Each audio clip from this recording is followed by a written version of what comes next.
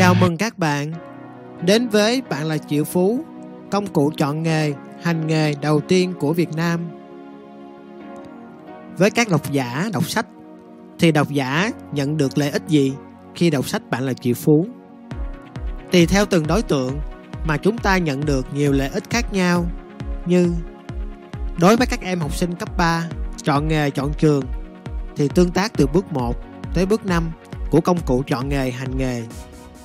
Trong đó, sách là bước 2 giúp cho học sinh trải nghiệm nghề bằng những hình ảnh thực tế sinh động và biết rõ trọng tâm thành công với nghề là gì. Còn đối với người đi làm, từ cấp nhân viên đến quản lý thì tương tác công cụ chọn nghề hành nghề từ bước 1 đến bước 7. Trải qua các bước này sẽ giúp bạn đạt được thành công nhanh và bền vững. Vì khi đó, bạn đã nắm rõ được cơ cấu tổ chức, ý nghĩa của từng chức năng để thấu hiểu và phát huy tinh thần đồng đội. Đặc biệt, bạn biết rõ yếu tố quyết định thành công và thăng tiến là gì.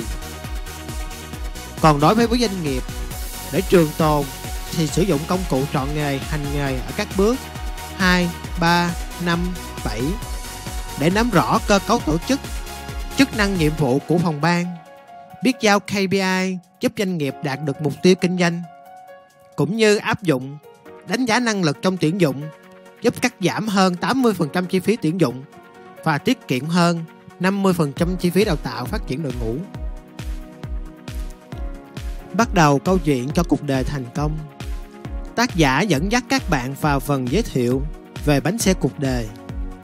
Đó là một tình huống thực tế, thú vị, đã thúc đẩy tác giả viết được phần giới thiệu đầy cảm xúc mà đa số bạn đọc đều ấn tượng và ghi nhớ.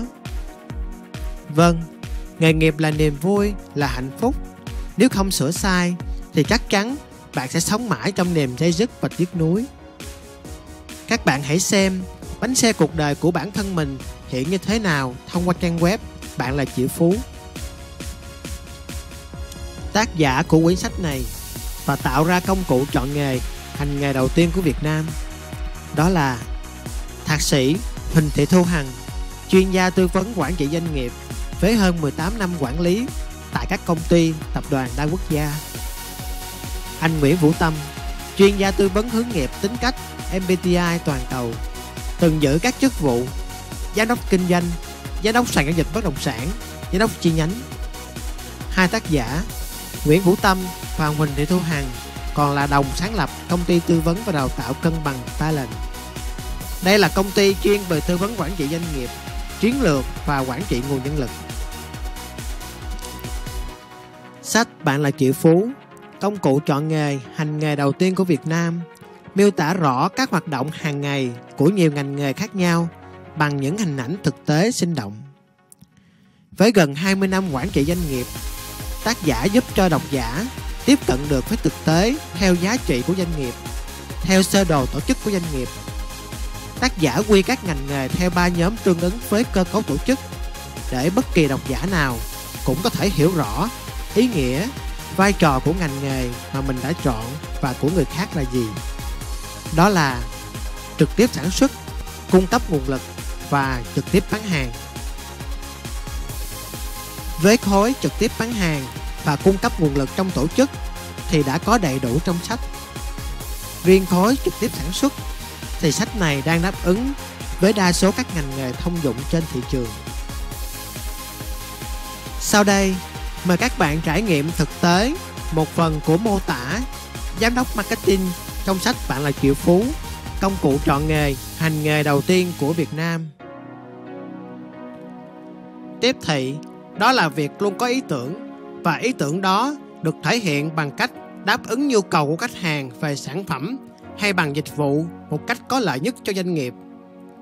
Mở đầu câu chuyện của công việc tiếp thị, tác giả mô tả giám đốc tiếp thị đi tham quan thị trường, đọc báo cáo doanh số với kết quả kinh doanh không đạt, chuẩn bị chiến lược cho năm mới. Tiếp theo là cuộc họp về tình hình kinh doanh giữa giám đốc tiếp thị, giám đốc kinh doanh giám đốc chăm sóc khách hàng. Tôi rất hụt hẫng khi khách hàng không tìm đến cửa hàng. Qua khảo sát của bộ phận chúng tôi, khách hàng không hào hứng với sản phẩm của chúng ta gì cả. Bạn, nếu là giám đốc tiếp thị thì bạn sẽ làm gì để cải thiện ngay những gì khách hàng không thích? Khách hàng không sướng ngất ngay khi dùng sản phẩm của công ty. Sau phần giới thiệu bao quát và trọng tâm về ngành tiếp thị, tác giả dành sự tâm huyết của mình với độc giả khi cùng với hơn 20 họa sĩ khắp đất nước tạo ra trải nghiệm thực tế công việc hàng ngày của giám đốc tiếp thị bằng tranh sinh động.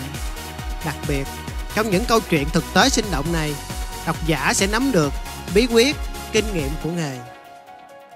Như các bạn vừa đọc qua, với các tình huống trải nghiệm thực tế bằng tranh sinh động của một người giữ chức vụ giám đốc tiếp thị, đó là yêu cầu nhân viên khảo sát thị trường, cải tiến sản phẩm, lập kế hoạch thông minh với đầy đủ các KPI thách thức.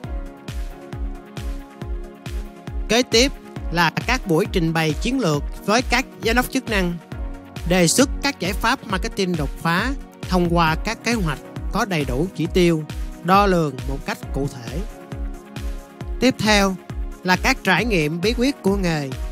Các bạn độc giả sẽ nhận biết được ý nghĩa, vai trò của giám đốc tiếp thị để những ai chưa bước chân vào nghề đều biết rõ mình sẽ có vai trò gì trong tổ chức. Các bạn hãy trải nghiệm thêm tại các trang 112, 113 trong sách Bạn là triệu phú để hiểu rõ hơn nhé.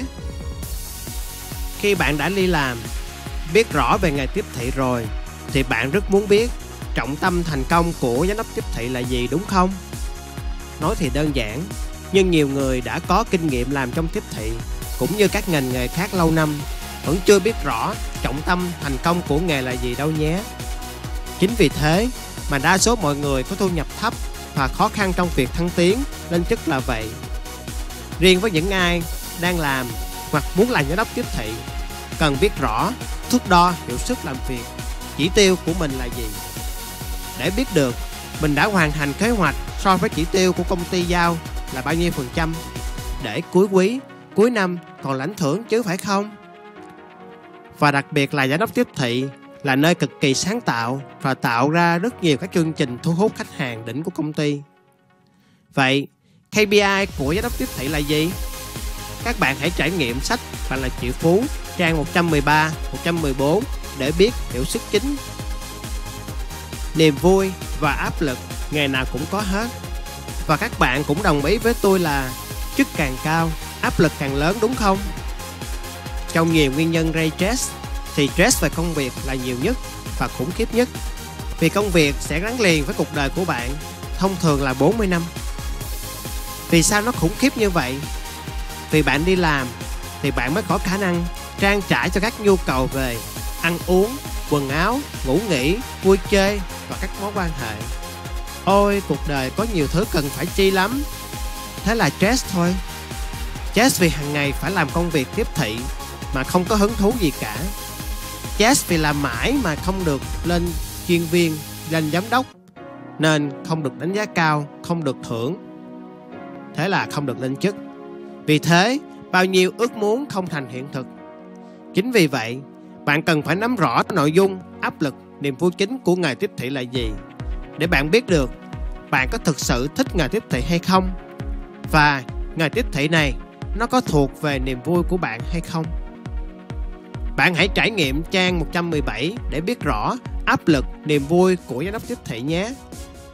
Khi bạn đã biết rõ về nghề, về sự trọng tâm của thành công trong nghề, thì bạn cần biết được năng lực làm việc, năng lực giải quyết công việc giám đốc tiếp thị thực tế của bạn như thế nào. Cần cải thiện gì, phát triển ra sao và bạn cần tập trung trọng tâm vào năng lực gì một cách cụ thể để có được sự thành công nhanh và bền vững của chức vụ giám đốc tiếp thị. Để biết được điều này thì bạn được tặng một mã cào trị giá 150.000 đồng ở bìa gấp phía sau của quyển sách để được trải nghiệm thực tế năng lực của bản thân mình ở bước 3 của trang web bạn là triệu phú.com.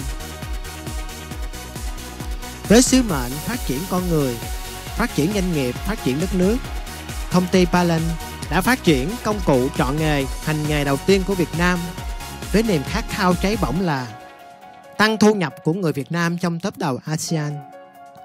Bạn hãy là người có thu nhập cao trong top đầu ASEAN bằng cách hành động như công cụ chọn nghề hành nghề đầu tiên của Việt Nam. Xin cảm ơn các bạn.